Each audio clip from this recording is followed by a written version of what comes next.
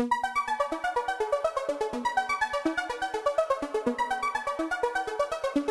Aslam friend. Drama serial नीली ज़िंदा है कि नेक्स्ट एपिसोड में आप देखेंगे कि नीली अब ना सिर्फ़ सुम्बुल को नज़र आने लगी है, बल्कि वो अब सुम्बुल के असाब पर भी हावी होती जा रही है। जब से अमान के वालिद ने सुम्बुल को ये बताया है कि अमान की माँ सुम्बुल का घर तबाह करने के लिए एक बाबा के पास जाती है तो सुम्बुल तब से ये समझने लगी है की उसके घर में जो कुछ भी हो रहा है, वो उसकी सास की वजह से हो रहा है। जबकि नगीना भी दिलावर के कहने पर सुम्बुल के इस खौफ को मजीद पक्का कर देती है, ताकि वो सुम्बुल के इस खौफ से फ़ायदा उठाते हुए दिलावर उर्फ़ जोगी बाबा को सुम्बुल के घर ला सके। और फिर ये दोनों मिलकर नीली को अपने काबू में करें। इस घर में होने वाले अजीबो गरीब वाकयात के बारे में सुम्बुल अमान को बताने की कोशिश भी करती है। लेकिन अमान शायद अपने कारोबारी मामला से इस कदर डिप्रेस होता है कि वो सुम्बुल की किसी भी ऐसी बात पर यकीन ही नहीं करना चाहता, बल्कि उल्टा सुम्बुल को ही जहनी मरीजा साबित करने पर तुला है। सुम्बुल का खौफजदा होना भी जायज़ है, क्योंकि नीली सुम्बुल को गाहे बगाहे नज़र आती है और धमकाती और डराती है। वो सुम्बुल से कहती है कि तुम मुझे डाइन कह रही थी ना, आप देखना मैं तुम्हें डाइन कैसे बनाती हूँ। फिर आप देखेंगे कि सुम्बुल जब नीली की इस तरह की धमकियों से बहुत ज़्यादा खौफजदा हो जाती है तो वो अमान को बताती है कि इस घर में एक औरत है जिसने सुर्ख कपड़े पहन रखे हैं और वो इस घर में घूमती फिरती हुई नज़र आती है। सुम्बुल अमान से कहती है कि इस घर में हमारे अलावा भी कोई मौजूद है, लेकिन अमान उसे समझाकर दवा खिलाकर सुला देता है। लेकिन कुछ ही देर गुजरती है की मिनाल जो सुम्बुल के साथ ही सोई होती है, अपने बिस्तर से गायब हो जाती है। मिनाल को अपने बिस्तर पर ना पाकर सुम्बुल और अमान उसे पूरे घर में ढूंढते हैं, मगर वो घर में उन्हें कहीं नहीं मिलती। परेशानी में अमान ये समझता है की शायद नगीना उनकी बच्ची को उठाकर ले गई। और जब वो नगीना के कमरे में आते हैं तो मिनाल को नगीना के साथ सोया हुआ पाते हैं? तभी अमान नगीना से पूछता है कि मिनाल तुम्हारे साथ यहाँ क्यों सो रही है? जिस पर नगीना बुखलाहट में बुड़बुड़ाने लगती है। नगीना खुद भी मिनाल को अपने कमरे में देखकर हैरान रह जाती है। ये सब देखकर सुम्बुल भी डरते हुए कहती है कि मिनाल को यहाँ वही औरत लाई है। तो अमान सुम्बुल की ये बात सुनकर उस पर गुस्सा करते हुए कहता है कि कभी तुम्हें भूत नज़र आ रहा है और कभी बच्चों के रोने की आवाज़ें सुनाई देती हैं। तुम चाहती क्या हो? फिर सुम्बुल के ऐसे परेशान होकर रोने पर अमान उसे कहता है कि अगर तुमने आइंदा इस घर में उस औरत का ज़िक्र किया ना मिनाल के